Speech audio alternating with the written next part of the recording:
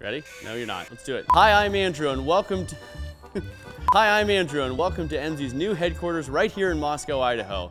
It's Emsi20, and because it is 2020, we're having a theme of Beer with Emsi this year. This is our new building, and we're really grateful for those who can actually come here to Moscow, and for all those of you who are joining via Zoom, we're also grateful that you're here. I've gained a little weight with all the Beer with Emsi videos that we've been doing.